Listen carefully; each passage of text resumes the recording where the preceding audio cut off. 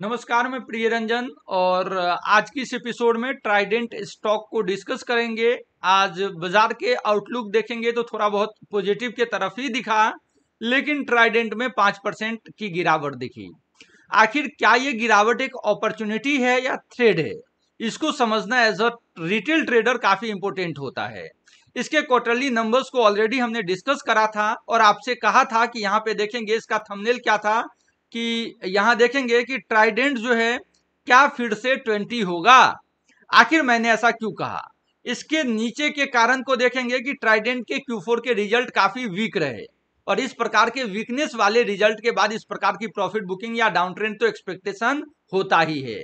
तो आगे के ट्रेंड को समझे, इससे पहले प्रीमियम टेलीग्राम को ज्वाइन करें, डिस्क्रिप्शन के लिंक से अकाउंट ओपन करें, वीडियो पसंद आए तो दोस्तों में ज़रूर शेयर करेंगे। इसके क्वार्टरली नंबर्स काफ़ी पैथेटिक रहे थे।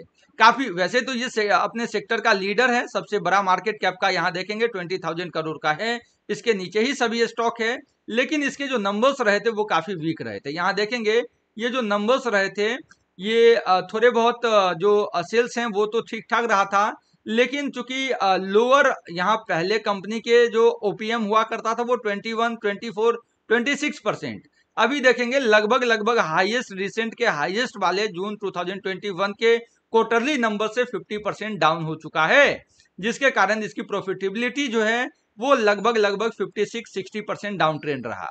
ये एक बड़ा कारण रहा। इसके साथ हमने देखा कि जो एफआई और डीआई है, यहाँ एफआई ने थोड़े खरीदे प्रमोटर एज इट इज़ है डीआई ने नॉमिनल घटाया और पब्लिक की भी होल्डिंग घटी है। इवन डीआई ने थोड़ा बहुत एक बेट करा हुआ है। और रिसेंट के टेक्निकल ट्रेंड तो वीक ही रहे हैं। यहाँ अगर टेक्निकल ट्रेंड भी देखेंगे तो ट्रेंड इसके वीक ही रहे हैं।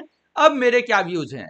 तो पहली बात ये समझे कि 80 पैसा पर शेयर का इस स्टॉक ने डिविडेंड डिक्लेयर करा है और 500 करोड़ कंपनी फंड रेज कर रही है। यहाँ देखेंगे तो 0.36 यानी 36 पैसे पर शेयर डिविडेंड कंपनी ने डिक्लेयर करा है, जिसका रिकॉर्ड डेट आप ट्वेंटी मई समझे। ट्वेंटी मई से पहले आपकी अगर होल्डिंग होती है तो 36 पैसे पर शेयर आपको डिविडेंड मिलते दिखेगा। लेकिन टेक्निकल ट्रेंड काफ़ी वीक है। यहाँ देखेंगे तो टेक्निकल ट्रेंड, यहाँ से एक वी शेप रिकवरी आई, लेकिन अगेन प्रीवियस रेजिस्टेंस से ही रेजिस्टेंस बना।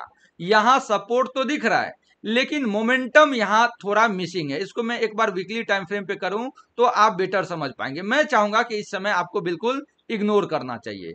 R S is around at 46 लेकिन जो टेक्निकल ट्रेंड है, यहाँ देखेंगे जो ट्रेंड है, एक बार मैं आपको टेक्निकल ट्रेंड दिखाऊँ। ये देखेंगे कि हायर हाई हायर लो का ट्रेंड तो है, लेकिन इस ट्रेंड में क्या है कि ये अपने सपोर्ट पे है। और सपोर्ट पे हम कब खरीदते हैं? जब हमारा इन्वेस्टमेंट अपॉर्चुनिटी दिख रहा हो। मोमेंटम कभी भी रेजिस्टेंस के ब्रेकआउट पे लेते हैं।